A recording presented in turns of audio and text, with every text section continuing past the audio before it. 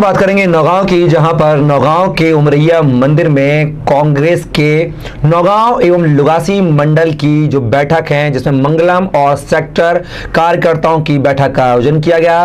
बता दें कि जिला के प्रभारी और बंडा के पूर्व विधायक नारायण प्रजापति की मुख्य आतिथ्य में इस बैठक का शुरुआत हुआ। साथ ही बात करें, क्षेत्रीय विधायक नीरज दीक्षित ने भी अपने बूथ स्तर के कार्यकर्ताओं को मज़बूत करने के लिए यहाँ पर सभी कांग्रेसियों के एकजुट होने का मूल मंत्र दिया। बता दें कि यहाँ इस बैठक के दौरान जिला अध्यक्ष लखनलाल पटेल एवं कार्यकारी जिला अध्यक्ष गगन यादव एवं आदित्य सिंह, वरिष्ठ कांग्रेसी नेता शीलू राजा, संजय अग्नोत्री, दौलत तिवारी, अशोक साहू, महेंद्र सिंह परिहार सहित कई सैकड़ों की संख्या में कांग्रेसी कार्यकर्ता उपस्थित रहे।